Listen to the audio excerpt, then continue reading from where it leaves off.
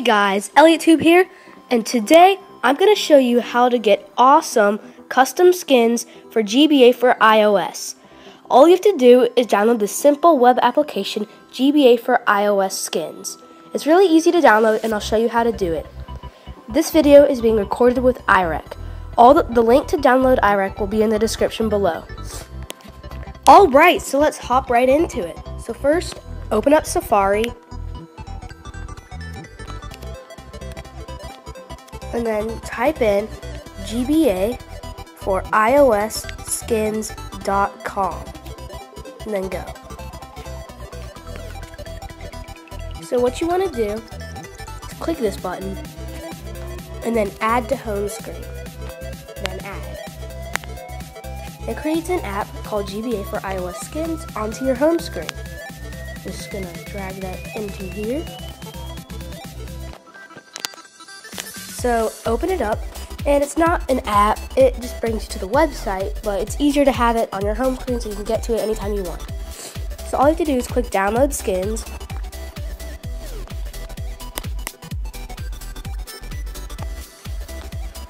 And then there are all these categories that you can choose from, like superheroes. And I'm gonna choose Batman. Batman City.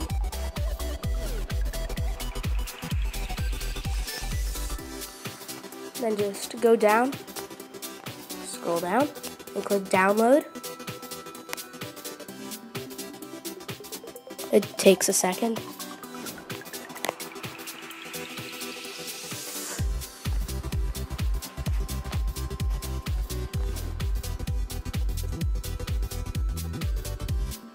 Maybe a minute. Okay, here we are. Then you click Open in GBA for iOS. So you click that, and then it takes you to GBA for iOS. And then you click Return to Menu if you have a game opened. If it's just like this, it brings you here. Click the Settings button and go down to Game Boy Advance. And then click Portrait or Landscape, whichever skin be downloaded.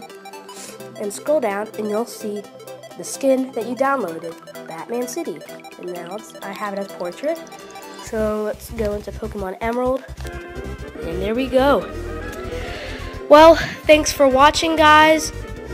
All the links to everything are in the description. I'm EliotTube. See you next time. Bye.